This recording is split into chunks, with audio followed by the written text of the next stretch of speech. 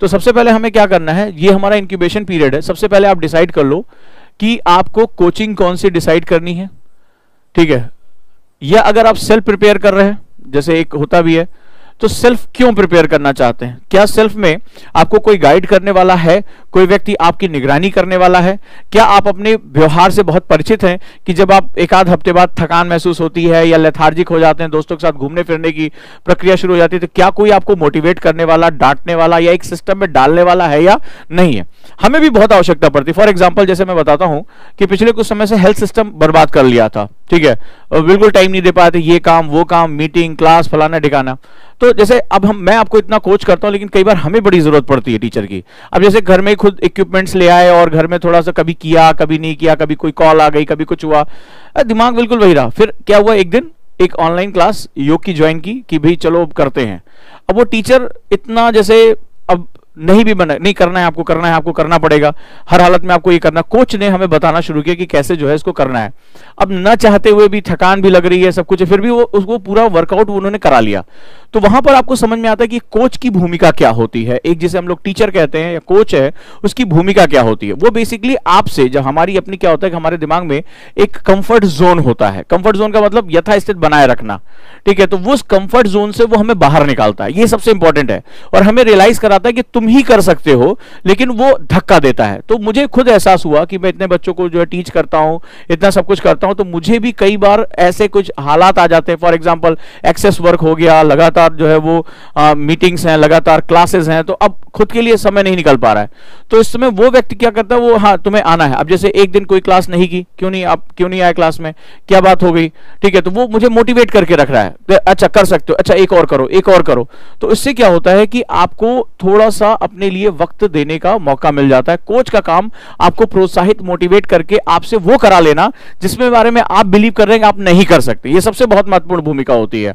Right? तो आप प्रश्न ये पूछेंगे अभी से कि मुझे सेल्फ करना है या मुझे जो है वो इंस्टीट्यूट के साथ जाना है? इंस्टीट्यूट क्या होगा? ये भी आप डिसाइड कर लेंगे। फिर आप अपने सब्जेक्ट कॉम्बिनेशन के साथ जाएँगे, जो मैंने आपको बताया कि किस तरह के सब्जेक्ट ये आप तय कर लेंगे कि मुझे किस तरह के सब्जेक्ट कॉम्बिनेशन के साथ जाना है। मुझे कौन सा न्यूज़पेपर ये आपका काम हो जाना चाहिए एक हफ़्ते के अंदर। मुझे कौन सा न्यूज़पेपर पढ़ना है? मेरे नोट्स बनाने की मैथोलॉजी क्या होगी? ठीक है अलग अलग कॉपियाँ या डायरी के अलग अलग हिस्से, ये आपको जो है तैयार होने चाहिए।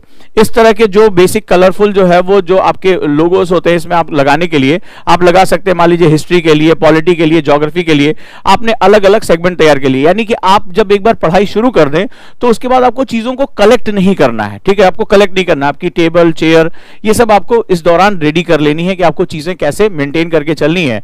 ये आपको, जिसे हम लोग प्री प्रिपरेशन कहते हैं तो आप ये प्री प्रिपरेशन के लिए माइंडसेट प्रिपेयर कर लें कि हमें इसको कैसे लेकर चलना है। अब हम आ जाते हैं अपने मंथ की शुरुआत में। मंथ की शुरुआत में जैसा मैंने बताया कि मान ले, हम यहाँ पर छह घंटे से अपनी शुरुआत को मानते हैं सिक्स आवर्स अब सिक्स आवर्स आपके पास होना चाहिए। सिक्स आवर में आप यहाँ पर जो है, शुरू करेंगे अपना।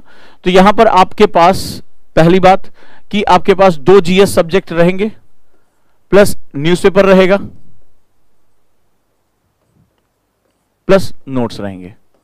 और ये नोट्स जो होंगे, वो साइनॉप्सिस बेस पे होंगे, यानी शॉर्टर बेस पे होंगे। तो यानी अगर मैं मान के चलूँ कि डेढ़ डेढ़ घंटे मुझे एक एक सब्जेक्ट के लिए देना है सेल्फ स्टडी की बात कर रहा हूँ तो मुझे ये सब्जेक्ट आपको एक से दो घंटे आपको यहाँ पर निकालना पड़ेगा। यानी a one hour GS revision के लिए one hour GS two revision के लिए जो आपने कॉम्बिनेशन बनाया, कम से कम 45 मिनट्स आप जो है वो न्यूज़पेपर पढ़ेंगे और इतना ही टाइम आपको जो है नोट्स बनाने में आपको लगना चाहिए, कम से कम। इसके बाद जो टाइम बचेगा, उसको आप रिवीजन के लिए लगाना शुरू करेंगे उनको बार बार पढ़ेंगे। क्योंकि शुरुआती दौर में क्या होता है, हमें एक गलत टेंडेंसी हमें गलत आदत पड़ जाती है। हम चीज़ों को ज़्यादा आगे से पढ़ना चाहते हैं। आज मैं बिपिन चंद्रा खत्म कर दूँगा, आज लक्ष्मीकांत आदि खत्म हो जाएगी। लेकिन अगर हमने शुरुआती दौर में ही अगर रिवीजन करने की प्रॉपर आदत नहीं डाली तो फिर धीरे धीरे आगे चलकर वो हमारी आदत नहीं बनती है, ये बात ध्यान रखिएगा। यहाँ आपको बहुत ज़्यादा दिक्कतें आनी शुरू हो जाएँगी। क्लियर है? तो आपको सबसे पहले ये तीन काम करने हैं। अब फरवरी, मार्च, अप्रैल। तो फरवरी महीने में आप अपनी पढ़ाई को पाँच से छह घंटे में, जिनका अभी कम है छह से, वो फाइव टू सिक्स आवर अपनी शुरू कर सकते हैं, इस हिसाब से अपना टाइम लगा सकते हैं। जैसे ही आप मार्च महीने में आएँगे you start thinking about the optional subject आप जो है वो ऑप्शनल सब्जेक्ट के लिए सोचना शुरू कर दीजिए कि आपको ऑप्शनल कौन सा लेना है। अब ऑप्शनल के दौरान, जैसे अगर हम बात करें तो फेब मंथ में आपका इनिशियल फ़ेज़ होगा। मैंने अभी आपको प्री प्रिपरेशन बता दिया कि फरवरी में क्लासेस शुरू करने से पहले, जो भी तैयारी शुरू करने से पहले आप अपना बेसिक जो है वो प्रिपेयर करना शुरू कर दीजिए। फरवरी में आप आ गए। फरवरी में आप अपना फाइव टू सिक्स आवर्स से स्टार्ट कर सकते हैं, जैसे मैंने आपको बताया। इसमें आप जो है वो एक घंटा जीएस वन एक घंटा जीएस टू और शुरुआत में 45 से 50 मिनट या एक घंटे तक जो है वो 60 मिनट तक आप न्यूज़पेपर और इतना ही टाइम आप दे सकते हैं अपने नोट्स के लिए और रिवीजन के लिए। लेकिन जैसे ही आप मार्च में आएँगे, आपको इसमें वन आवर बढ़ाना पड़ेगा। यानी अब आप सिक्स टू सेवन आवर्स की स्लॉट में आप आ जाएँगे। इसमें आप एक घंटा जो है वो ऑप्शनल के लिए जोड़ना शुरू कर देंगे। ऑप्शनल करना है मुझे। ठीक है, इसको रिवीजन के लिए आपको टाइम देना है और ऑप्शनल के लिए यहाँ पर सोचना आप शुरू कर देंगे, मुझे ऑप्शनल कौन सा लेना है ऑप्शनल किस तरह से अपना चूज़ करना है, ये इसी दौरान की प्रक्रिया में आप इसको शामिल करना शुरू कर देंगे। अगर कोई दुविधा आ रही है तो भी आप हद से हद, बाकी सारी चीज़ें चलती रहेंगी, हद से हद आप अप्रैल में आते आते आप अभी भी सिक्स टू सेवन आवर्स में रहते हुए, दो जीएस के साथ आप ऑप्शनल चूज़ कर लेंगे। इसे लेट मत करिएगा आप। क्योंकि ऑप्शनल जो है वो छः सात महीने ले लेता है और कई बार उसको रिवीजन करने उसमें अपनी इफिशियंसी बनाने में एक अच्छा खासा टाइम लग जाता है। तो ऐसी कंडीशन में ऑप्शनल आपको जो है वो लास्ट में आप जाते हैं तो उधर आपका स्लॉट मैंने आपको बताया था कि जनवरी के बाद आपको प्री के लिए बहुत फोकस करना है और उस दौरान आपको ये सारे काम बंद करने पड़ेंगे। तो यहाँ पर आपको बहुत ध्यान से इस चीज़ को समझना पड़ेगा। नेक्स्ट वन मई में आ जाते हैं। मई में इस दौरान आप अपनी पढ़ाई को सेवन टू एट आवर्स के स्लॉट में लेकर चले जाएँगे। सेवन टू एट के स्लॉट में अब आपको इतनी रिक्वायरमेंट पड़ेगी। सेवन टू एट आवर्स के स्लॉट में जाएँगे तो आप यहाँ ऑप्शनल के आवर्स बढ़ा देंगे। बाकी सारे ऑप्शनल ठीक रखेंगे, लेकिन ऑप्शनल के आवर्स आप बढ़ा देंगे। ठीक है, कम से कम डेढ़ से दो घंटा यह शुरुआती दौर में खाएगा ही खाएगा। तीन महीने तक, चार महीने तक इसमें बहुत ज़्यादा इनपुट बहुत ज़्यादा वेटेज देने की आवश्यकता है। चाहे आप जो भी ऑप्शन लें, आपका अपना जो भी ऑप्शनल है, इसमें आपको शुरुआती दौर में बहुत ज़्यादा इनपुट देना पड़ेगा। क्लासेस भी इसकी लंबी होती हैं। साथ ही साथ इसमें जो रेगुलर आंसर राइटिंग इसको जो है मेंटेन करने में, शुरुआती दौर के जो टॉपिक्स होते हैं, खासतौर पर जो पेपर वन के टॉपिक होते हैं, वो हमेशा हर ऑप्शन के टफ माने जाते हैं। उसमें सबसे ज़्यादा टाइम लगता है, उसको इसी तरह बनाया ही गया है कि सबसे ज़्यादा जो जैसे कहते हैं क्रक्स पार्ट, वो उसी के लिए रहता है। तो यहाँ पर आपको ये टाइम देके चलना पड़ेगा। अब यहाँ पर आप अपने जीएस सब्जेक्ट को वेरी करा सकते हैं। अब जीएस के साथ और नए चीज़ों को आप जोड़ सकते हैं। फॉर एग्जांपल अब मान लीजिए आपकी पॉलिटी खत्म हो गई तो अब आप हिस्ट्री पोर्शन में या ज्योग्राफी पोर्शन में एंट्री कर जाएँगे। सेम अपना कॉम्बिनेशन आपको यहाँ लेकर चलना है। ठीक है? इसी तरह जून में भी आप चले जाएँगे। अब जून में आपको एक नई चीज़ जोड़नी है। यह बात ध्यान रखिएगा। जून आते आते आपके पास अब एक कम से कम दो से तीन सब्जेक्ट की अच्छी नॉलेज हो रही होगी। ऑप्शनल भी आपका एक यूनिट खत्म हो चुका होगा, दो यूनिट खत्म हो चुका होगा और अब आपके पास कुछ इनपुट्स आ चुके होंगे। अब आपको करना क्या है? जून में optional plus GS plus newspaper plus revision ध्यान से समझते जाना। प्लस अब इसमें एक चीज़ जुड़ जाएगी, जो मैक्सिमम स्टूडेंट गलती करते हैं, मैक्सिमम गलती करते हैं, वो आपको वो चीज़ आप वो लेकर नहीं आते हैं, और उसे बोलते हैं आंसर राइटिंग उत्तर लेखन। ये मई और जून से आपके साथ सेटअप हो जाना चाहिए, और इस दौरान आपकी पढ़ाई लगभग average eight hours to nine hours touch करनी चाहिए। ये आपकी जो है रिक्वायरमेंट हो जाएगी। जून से आपके पास ऑप्शनल की प्रिपरेशन जीएस की प्रिपरेशन न्यूज़पेपर रिवीजन और आपका जो आंसर राइटिंग भले चाहे आप दो आंसर लिखो, तीन आंसर लिखो, आधे घंटे 45 मिनट, लेकिन आपके इसमें, आपकी डेली जो दिनचर्या है, उसमें हर हालत में आंसर राइटिंग इनपुट आ जाना चाहिए। कई बच्चों को लगता है कि अभी हमें क्या जल्दी हम पहले पढ़ लें, फिर आगे देखेंगे हमें आंसर राइटिंग कैसे करनी है, कैसे नहीं करनी है। बट ये एक बहुत ही गलत जो है, वो चरण होता है। राइट तो यहाँ आपको आंसर राइटिंग हर हालत में करनी ही करनी है। क्लियर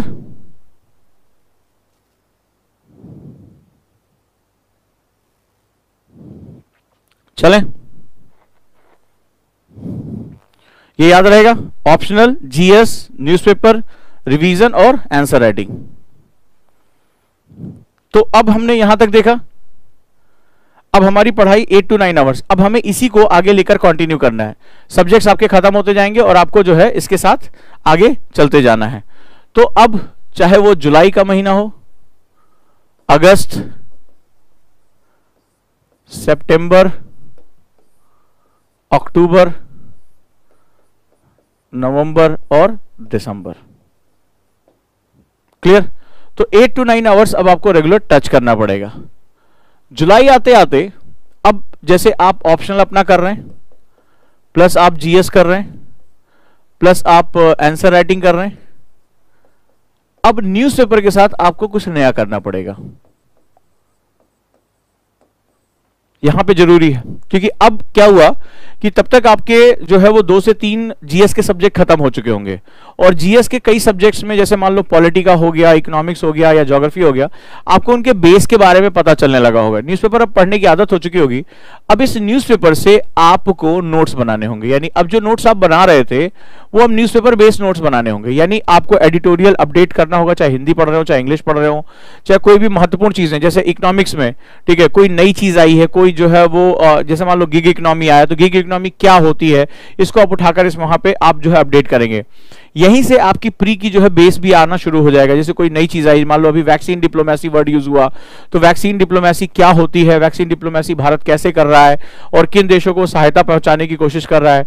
आत्मनिर्भर भारत क्या हुआ? तो इस तरह के जो टॉपिक्स हैं, उनको अब आपको नोट्स में लेकर आना पड़ेगा। पहले दिन से क्यों नहीं कहा नोट्स क्योंकि पहले दिन से क्या होता है कि नोट्स बनाना और इंटरेस्ट जनरेट करना, ये दोनों अलग अलग चीज़ें जब तक कि न्यूज़पेपर हैबिट ना बन जाए कि मेरी आदत बन गई, मुझे न्यूज़पेपर पढ़ रहा हूँ, तब तक आप कभी भी नोट्स तरफ़ नहीं जा सकते। ज़्यादातर देखा गया कि पहले दिन से बच्चे जब नोट्स बनाना शुरू कर देते हैं तो न्यूज़पेपर में उनका इंटरेस्ट नहीं जाता। बच्चों ने बताया कि सर दो दो ढाई ढाई घंटा लग जाता है उसको अपडेट करने में। ये गलत हो जाएगा। जब लगातार आप दो महीने आप जब उसको पढ़ लोगे तीन चार महीने तो आपको पता चल जाएगा कि न्यूज़ का जो प्रकार है वो किस तरह से आ रहा है। जैसे अभी आज की डेट में हमारे जितने भी ओजांकियंस हैं, जो भी हमारी क्लास के बच्चे हैं, वो मुझे सुबह सुबह भेजते थे, सर, आपने एक महीने पहले ये पढ़ाया था, आज न्यूज़ में छपा, ये आपने कल पढ़ाया था, ये आपने चार दिन पहले पढ़ाया था। तो उनको अब क्या हुआ कि इस क्लास के साथ जब उनकी डिस्कशन हो रही, जब टीचर बहुत कंटेम्प्रोरी होकर पढ़ाता है करंट के साथ जोड़कर पढ़ाता है तो स्टूडेंट को पता चल जाता है कि न्यूज़ में अब क्या चीज़ आ रही है। अब आज की डेट में उनको अपडेट करना, जितने भी अगर मेरे उजांकिस मुझे सुन रहे होंगे, वो ये जानते हैं कि आज की डेट में न्यूज़पेपर अपडेट करने में उनको कोई बहुत वियर्ड नहीं उनको लगता है क्लास में डिस्कशन हो चुकी है। चाहे आत्मनिर्भर भारत को लेकर, किसान के आंदोलन को लेकर वैक्सीन को लेकर, तमाम चीज़ों को लेकर हमारी क्लास में डिस्कशन हो चुकी है, वही लगभग जो है वो अखबार में अब आया है। तो अब उनको अपडेट करने में बहुत कम टाइम लगता है और उस पर उनका जो एक ओरिएंटेशन है। अब आज की डेट में जैसे कई बच्चे हैं, तुरंत मुझे उसका फ्लो चार्ट बना के भेज देते हैं, सर, आज का ये एडिटोरियल रहा, ये अपडेट रहा मेरा। तो उसमें हार्डली वो जो है, वो पूरे एडिटोरियल को बहुत छोटे से हिस्से में कवर कर देते हैं। ये चीज़ें स्किल के रूप में आपके सामने आनी शुरू हो जाएँगी। ये बहुत ही इंपॉर्टेंट जो है, वो सेगमेंट होता है। क्लियर है? तो अब आप यहाँ से जो है आप स्टेप बाय स्टेप अगर प्रिपरेशन करें तो आप नोट्स बनाना शुरू करेंगे। अच्छा इस दौरान आपको क्या करना पड़ेगा? आपका जो रिवीजन का टाइम था, जो 30 45 मिनट्स था रिवीजन का टाइम आप बढ़ाएँगे क्योंकि अब आपके पास रिवीजन करने को बहुत कुछ है। और रिवीजन का टाइम बेसिकली जो रात में जो सोने से पहले का टाइम है, वो आप रखेंगे। सोने से पहले के टाइम में। क्लियर है? तो इस दौरान आप रिवीजन ये बहुत ही मैंडेटरी पार्ट है। इसको आप स्किप किसी भी हालत में नहीं करेंगे।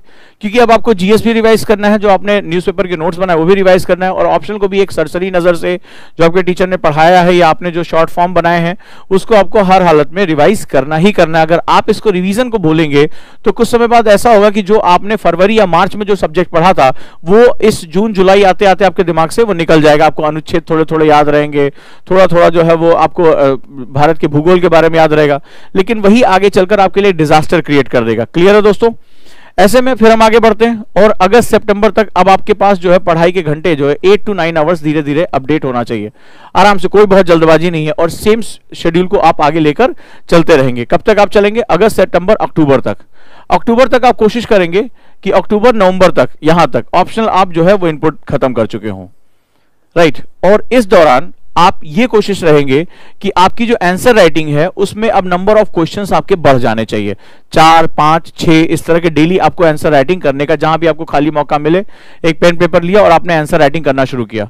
यानी आप अब जो भी बात अब जो कहेंगे, वो हमेशा आप आंसर राइटिंग के टर्म में कहेंगे। किसी को बरवली बताने की बजाय लॉ लॉ पेन लॉ में लिख देता हूँ। ठीक है? एक आदत उसको डेवलप करना जहाँ पेन पेपर मिला तो लॉ में लिख देता हूँ। यहाँ आप ऑप्शनल को क्लोज करेंगे। ठीक है ऑप्शन को क्लोज करने के साथ साथ उस पर जो प्रैक्टिस है, वो आपने करना शुरू कर दिया होगा। और अब यहाँ पर जो आपका न्यूज़पेपर का रीडिंग था न्यूज़पेपर रीडिंग ये बढ़ जाएगी। जी हाँ अगर आप पहले एक घंटे पढ़ते थे अब ये डेढ़ घंटे जाएगी। क्योंकि अब जो चीज़ें हैं, अब आपको मेंस और प्री दोनों को लिंक करना है। और आपके पास अब इंफॉर्मेशन बहुत ज़्यादा आ चुकी है। अब उसको आपको करंट के साथ अपडेट करते हुए इसको बढ़ाना है। तो न्यूज़पेपर अपडेशन आपकी यहाँ ज़्यादा हो जाएगी। इस दौरान आप क्या करेंगे? आप जो है वो नई नई चीज़ें, जैसे कि जीएस को रिवाइज करना। रिवीजन का आपका टाइम ज़्यादा बढ़ जाएगा क्योंकि अब आपके पास बहुत ज़्यादा सामान आ चुका है। आंसर राइटिंग का दायरा आपका बढ़ जाएगा। ये आपको रेगुलर करना अगर आपने ये कर लिया तो आप जो है बहुत आसानी से यूपीएससी को क्वालिफाई करने की जो है वो इनपुट रखते हैं।